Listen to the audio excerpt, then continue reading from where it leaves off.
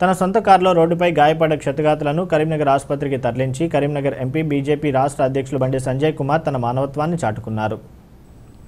గురువారం ఉదయం తొమ్మిది గంటల ముప్పై నిమిషాలకు పార్లమెంట్ సభ్యులు రాష్ట్ర బీజేపీ అధ్యక్షులు బండి సంజయ్ వరంగల్ పర్యటనకు వెళ్తుండగా మానుకొండూరు పోలీస్ స్టేషన్ సమీపంలో ఉన్న రమేష్ పున్నం రమ సంకీర్తన్ అనే ముగ్గురు వ్యక్తులు బైక్పై హుజురాబాద్ నుండి కరీంనగర్కు ప్రయాణిస్తుండగా మానుకొండూరు పోలీస్ స్టేషన్ దగ్గరలో వరంగల్ కరీంనగర్ ప్రధాన రహదారిలో గుంతలమయం ఏర్పడడంతో అదుపు తప్పి కిందపడి తీవ్రంగా గాయపడ్డారు.